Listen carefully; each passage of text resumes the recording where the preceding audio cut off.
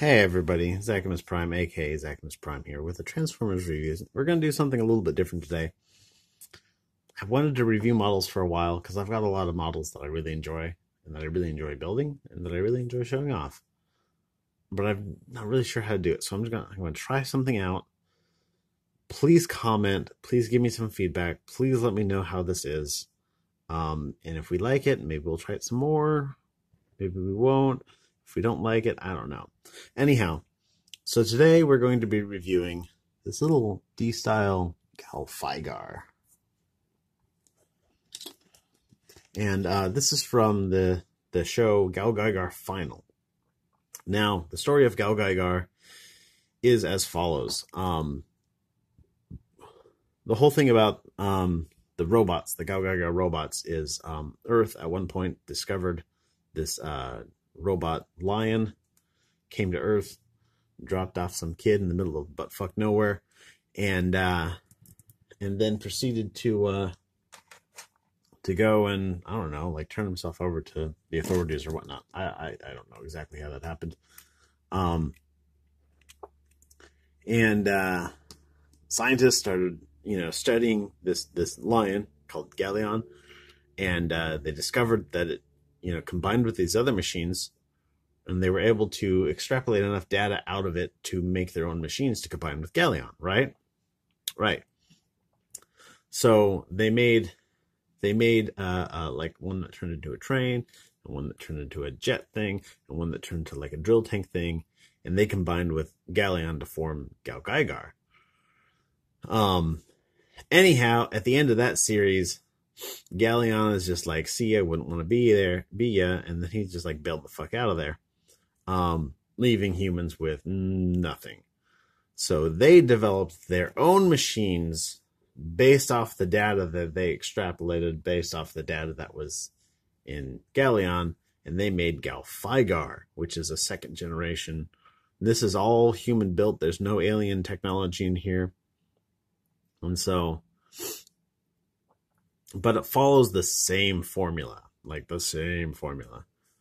By the way, if they ever make a Soul of Chogokin GaoFighGar, I'm like 100% on there because damn, I love everything about this this show.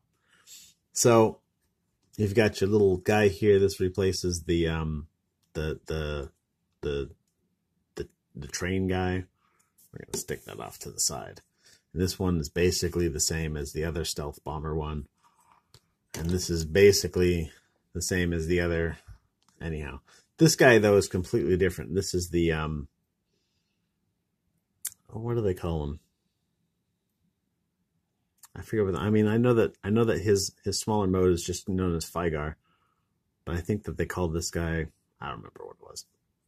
Anyhow, so this little guy here is the human built core module of um the GaoFighGar and this this model kit is actually really cool, but it doesn't stay together very well at all. Like all these parts want to come off um, at the slightest provocation, and so I'm kind of holding handling this gently.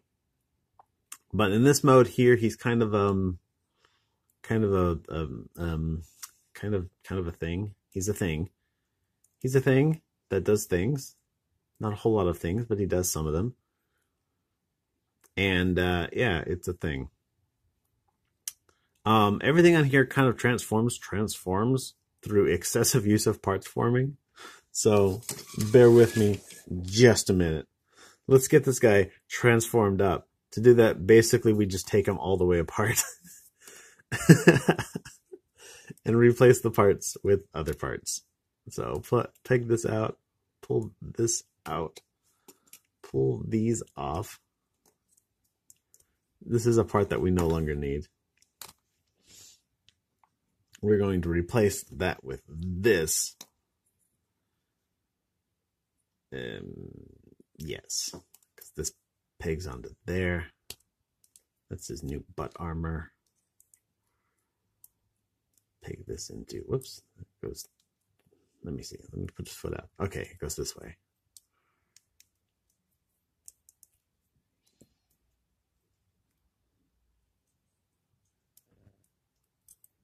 Little legs. that don't stand up. That don't stand up at all, damn it. God damn it. Anyhow, put this down like that.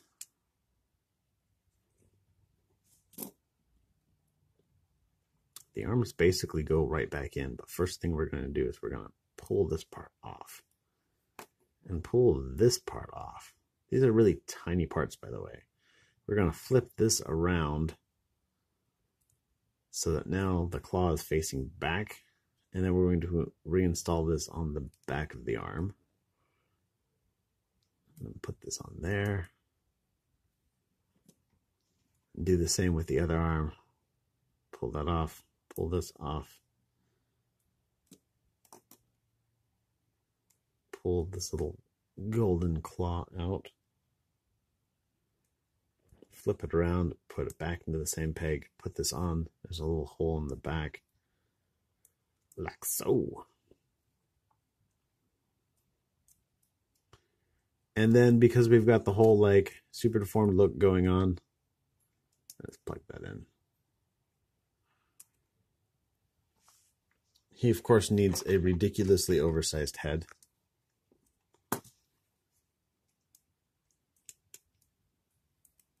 And there. So when he combines up with um Guy, that's his. That's the guy's name. It's just Guy.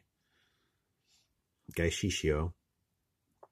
And this is his FighGar little fighting mode here. And he fights the bad guys like so. With the use of his machines. And of course, you know, you can do some of the um some, not all, but some of the uh the machine modes. Let me see. There's a machine mode where actually I don't know that you can do them with this. Looking at this, I know that there's a mode where like the drills go onto the arms. Like his arms actually go into them. And I don't know that that works with this. Someday when I work up the courage to actually uh, review my Soul Chogokin GaoGaiGar, I'll show you some of the uh, interesting modes. But as it is, I'm too afraid of just fucking it up royally to um to do that. Um, I know that there's more paint apps I could have put on here. I didn't, actually didn't put any paint apps on this at all. Like this paint app, that's pre-done. And I think there's a paint app on the eyes, the like black around the guy liner. That's pre-done. Um, I could have, there's things that I could have painted on here, but I didn't. Like I could have painted in the cockpits there. This is all pre-painted and pre-tampo printed, which is nice. Because this is a Kotobukiya kit. Kotobukiya is actually really good about pre-painting some of their parts. Um, so that when you just snap assembly it, it's actually really nice looking. Um, but I didn't put any paint on here, and I could have. But that's his uh, combined mode. He's got a little bit of posability. His arms are on ball joints. If you move this around, these are going to all fall off ball joint on his head. A little bit of a waist joint here. Yeah. Maybe this wasn't the best model to start with. A little bit of hip posability, not a whole lot, but just enough to, you know, give the impression that he's got something going on, but not actually have anything going on. He's got enough that he can stand there, damn it. most of his posability is going to be focused on the um on the the whole the GaoFighGar mode. And let's get him let's get him into GaoFighGar mode. So interestingly enough, actually getting him in, into GaoFighGar mode, woo, that came off. Getting into GaoFighGar mode is actually fairly fairly close to um how the figure how how the full scale figure would work if we had a full scale figure. So let's pull this off real quick. And let's pull this off real quick. These are going to extend out. Let's put them back in. And now we're going to reinstall this so that the black skirts are forward. Now we're just going to let that all fall off. Not a problem. Because, Byakuas, we're going to pull this out. We're going to pull these off entirely.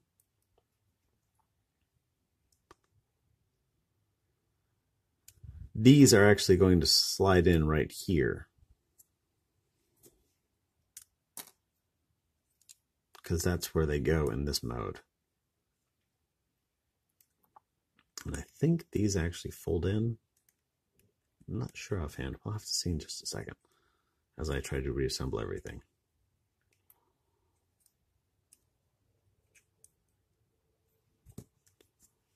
All right, so for this one, we're going to split this here. Um, this technically flips straight up, even though there's not actually any clearance for that. You got to kind of pull it off because the heel won't clear the back of this. Pull it out.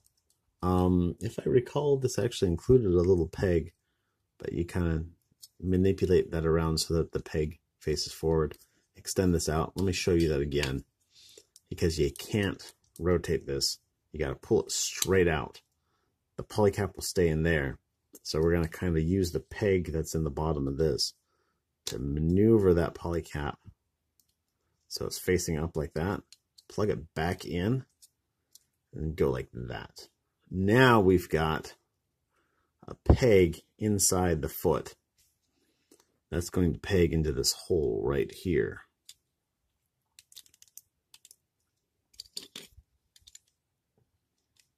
Oops, put that on backwards. like that.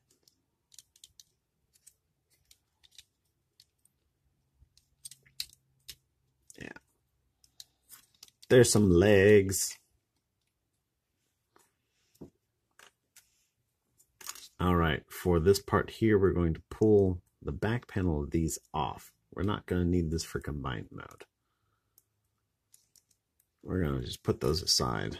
Put this aside, put these aside. So we just are left with these ones, which we'll get to in just a little bit. For this one, we're going to pull this off of here.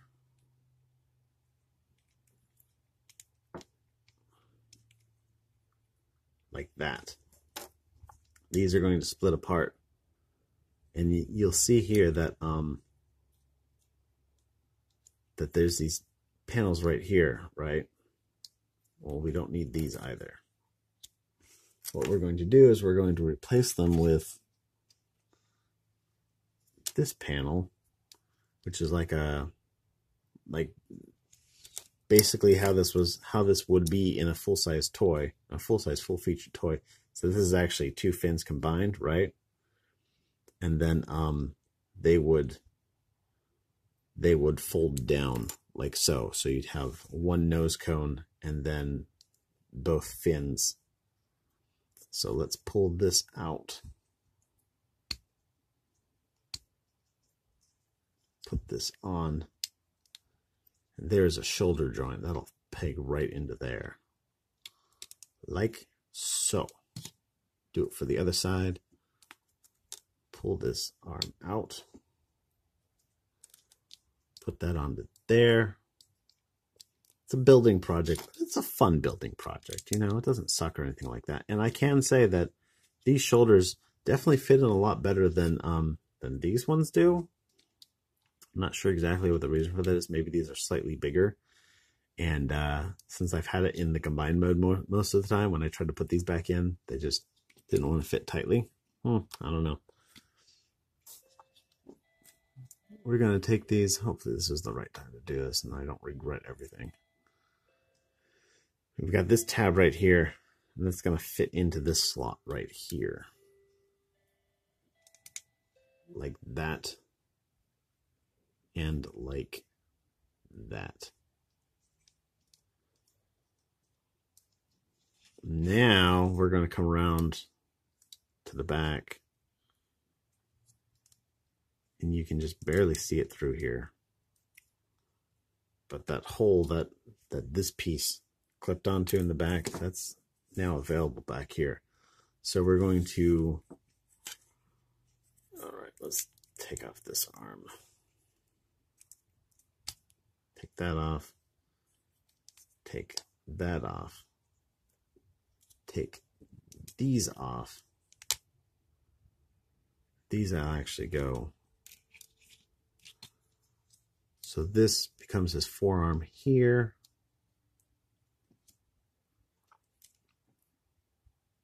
And this will peg into, there's a little joint in here. Yeah, I should have, I shouldn't have put these on quite yet.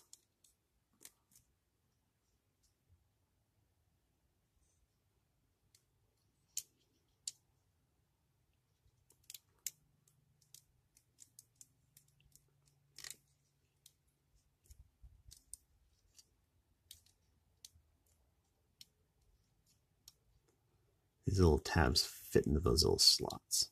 And there's, by the way, a slot on the shoulder as well that they fit into. Bam and bam. These just come right back on.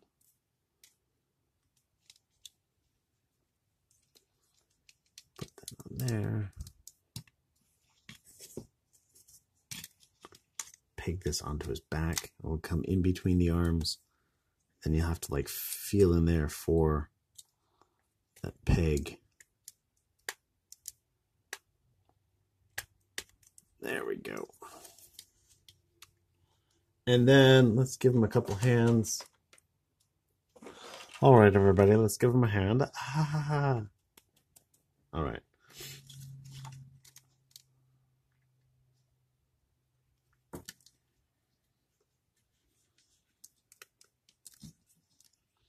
And then last but not least,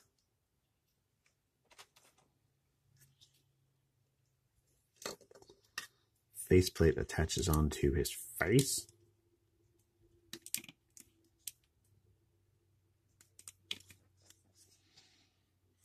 He's like, nobody knew who I was till I put on the mask. And then this attaches onto his head. And now he is GaoFighGar. Dun, dun. This is this is a fun little figure. I love it. Uh, I know it's kind of fiddly, and I know it's uh, you know super formed or whatnot, but I mean I really enjoy it. I think it looks great, even though I haven't you know painted like I could have painted the sections here. I could have painted like a bunch of stuff on this. I could have made this bigger, like look even better if I, you know, put some work into it. But as it is, I think it's great.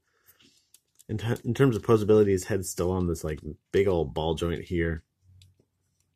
Surprisingly, it does not, it, like the armor and whatnot around here does not really encumber his posability at all. He's got ball joints here, which will come out, but it allows for like a little bit of movement around there, rotation, that wants to fall off. Like I said, it is kind of fiddly, but I still love it.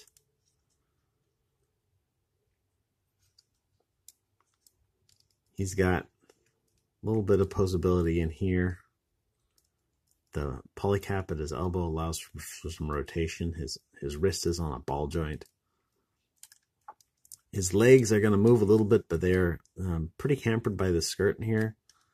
Um, I mean, he's got big old ball joints on his hips, so like he'll he'll stand he'll stand quite nicely. and he looks like super cute and kind of imposing all at the same time, which is great. Like it's super wonderful. Let's get all of these excess parts thrown off to the side. Now, one of the things that I like about this is that it comes with all these little options that you can do with it. Um, so for example, like he comes with um, you can take off this arm here, this hand, and you can put on his hand for when he's projecting his shield.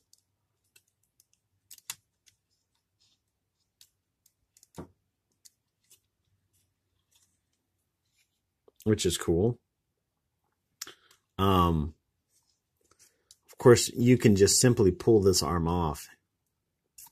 And then there's his broken magnum right there.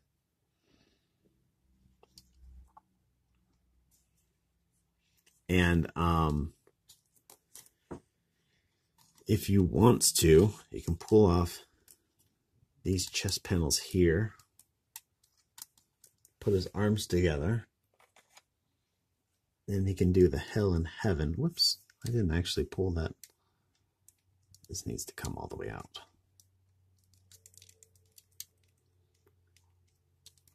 There we go. Now the ball joint came with it.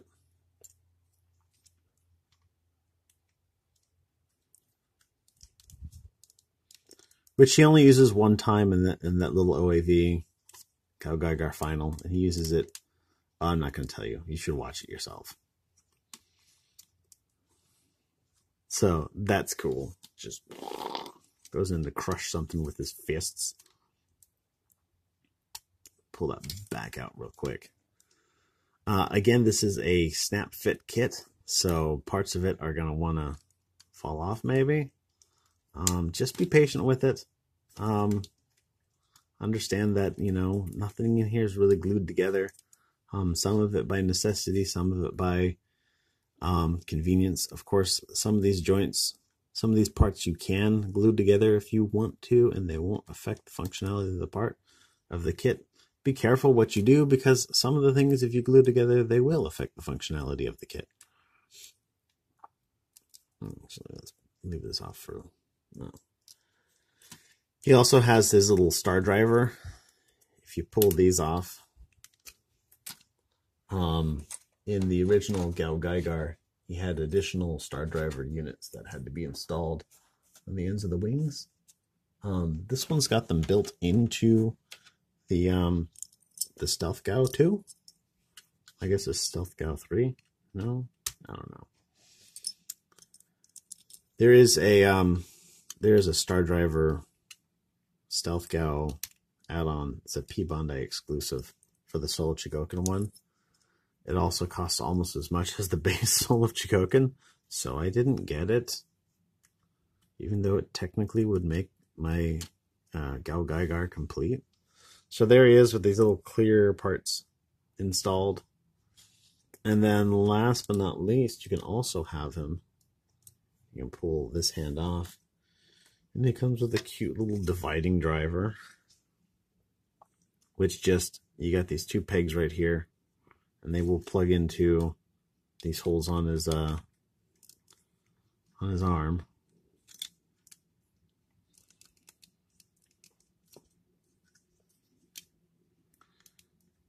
so he can he can fly up and uh, come on down and make a fighting arena. Um, also worth noting, he does have a little peg stand here for, uh, I think that's going to be the right size for your kind of standard um, action figure stands that the, uh, like the Tamashii stands and um, uh, Figma and, uh, mm, you know, a lot of, a lot of places all use the same size. And so a lot of fun stuff here. I really like this this model. It was fun to put together. It's fun to play with. I know things come off like constantly, but that being said, like it looks great, it feels great, it plays great. I really enjoy it. Uh, I wish I had more of these guys actually. But anyhow, thanks everybody for watching. I know this is weird. I'm probably not going to get as many views on this. Um, but if you liked it, leave a comment. I want to get some feedback on this if if I get enough positive uh, response, um, I, I, will I will do more. Um, if not, then maybe I'll just kind of leave this to the side. I don't know. Everybody, thanks for watching. You guys are all awesome. All of you guys, you're awesome.